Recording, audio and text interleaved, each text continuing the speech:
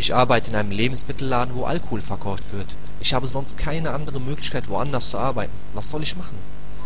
Sie dürfen keinen Alkohol verkaufen, wenn dort Alkohol verkauft wird.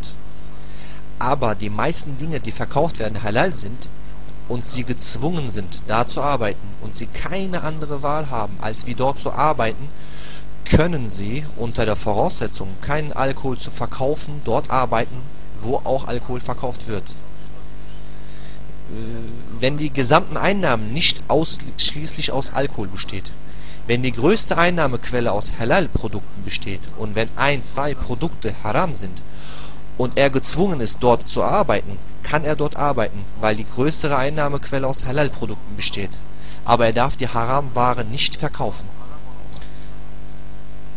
Er muss sagen, dass er diese Haram-Sachen nicht verkaufen darf und auch nicht in dieser Abteilung arbeiten darf.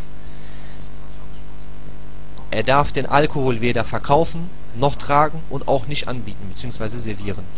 Also nicht nur das Trinken ist haram, sondern das Tragen, das Servieren und das Verkaufen sind haram.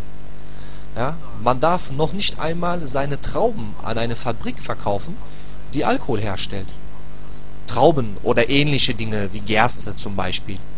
Ja, wir denken nämlich immer, es wird nur aus Trauben hergestellt. Es wird noch aus vielen anderen Dingen hergestellt.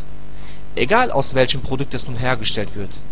Es ist haram, seine Ware an Alkohol herstellende Fabriken zu verkaufen